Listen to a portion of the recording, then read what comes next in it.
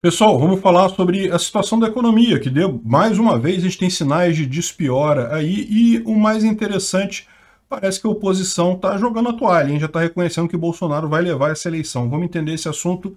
Essa notícia foi sugerida por Anderson Silva, Dona Fia e várias outras pessoas. Obrigado aí ao pessoal que sugeriu a notícia. Obrigado a você que está assistindo o nosso vídeo. Se você gosta do nosso conteúdo, por favor, deixe o seu like e se inscreva aqui no canal, né?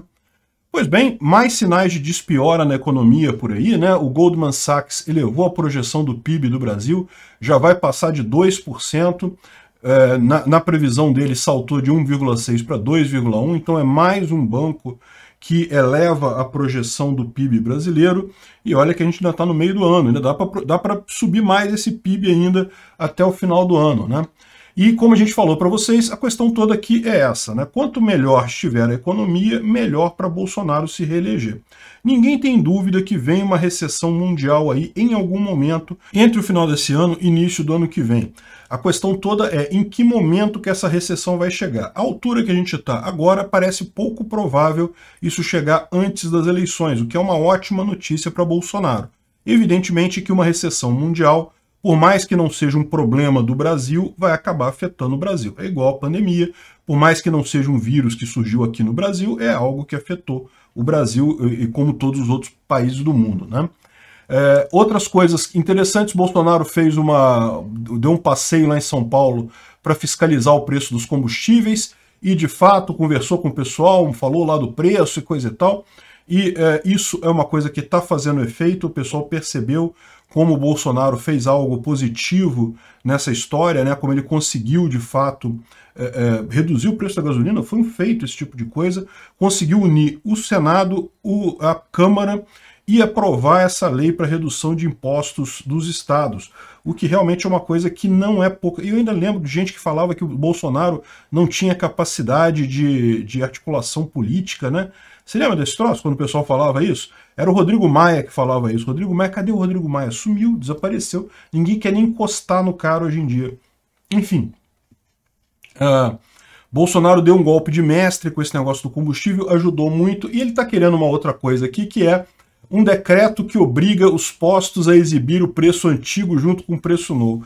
Eu confesso para você que isso daí me parece propaganda, tá? Eu acho que isso daí o TSE não vai gostar, não. Porque a verdade é a seguinte, né? Preços flutuam, podem subir, podem cair, coisa e tal, né? Enfim, eu acho realmente que esse negócio de botar o preço novo com o preço antigo é uma coisa meio estranha.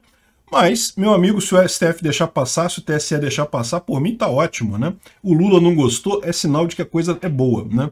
Se tá desagradando o Lula, se tá atrapalhando o Lula, é porque a coisa é boa no final das contas. Me parece propaganda eleitoral descarada, mas né, quem sou eu para julgar isso?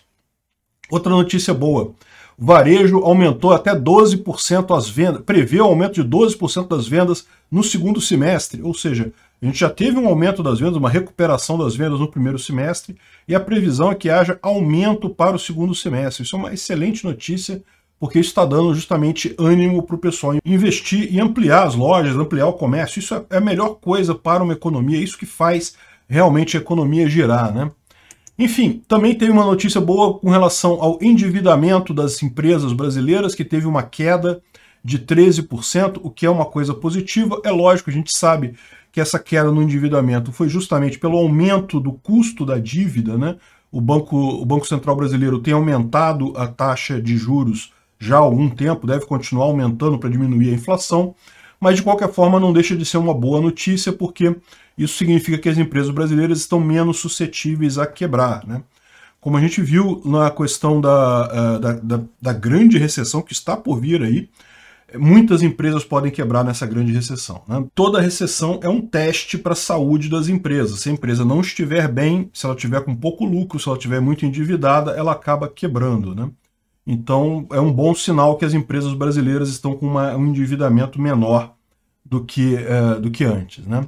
E para complementar a coisa, a gente vê como é que isso já está influenciando na questão política. Né? Por exemplo, aqui o pessoal da Veja, os torcedores socialistas da Veja estão falando que a PEC das bondades joga água no sonho da vitória de Lula no primeiro turno.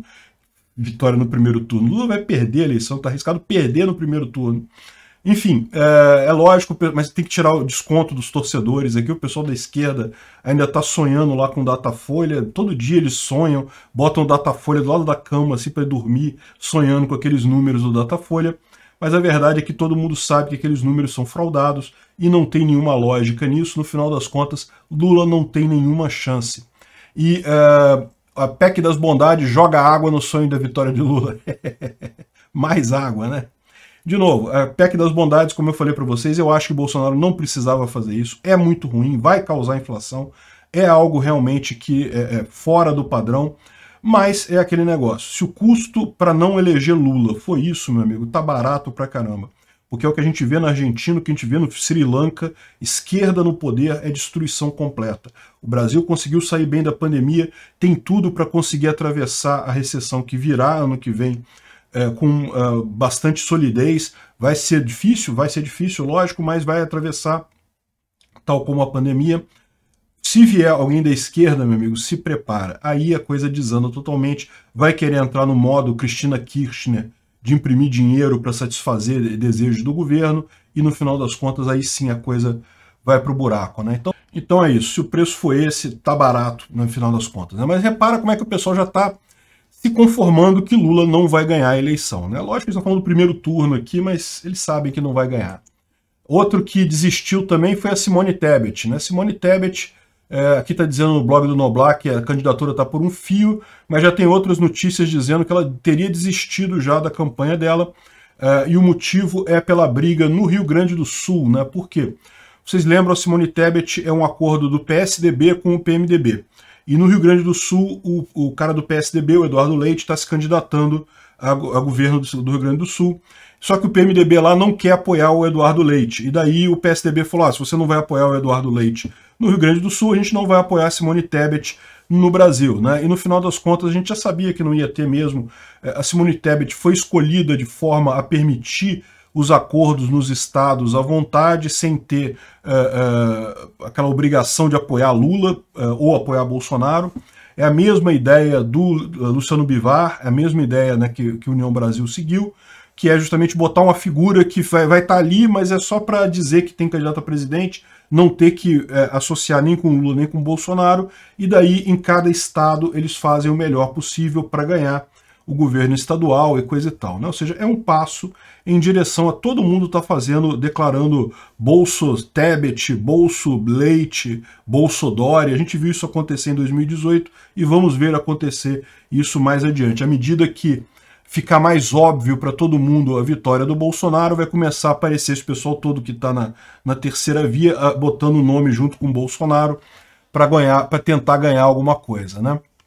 E até a parte, eh, digamos, mais poderosa da esquerda está se sentindo isolada, como nos informa aqui a Vera Magalhães, que o STF está isolado com ampla adesão à tese golpista. Qual que é a tese golpista, segundo ela? A tese golpista, segundo ela, é que o STF teria ultrapassado os seus limites, teria a, a, agido, usurpado o poder dos outros poderes constitucionais e coisa e tal.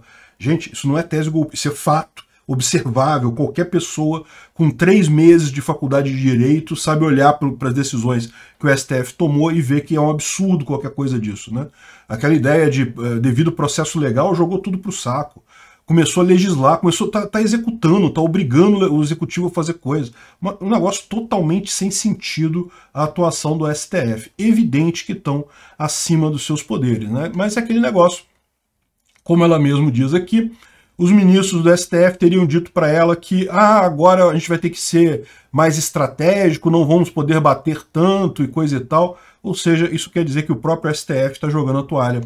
Bolsonaro vai ser reeleito esse ano. Tudo indica que esse é o caminho. Né? Vamos ver, no final das contas, nas urnas. É, daqui agora a gente já está tá entrando em agosto, já entram a, a fase de campanha. Inclusive, uma coisa muito importante, eu vou parar de falar de política neste canal, tá?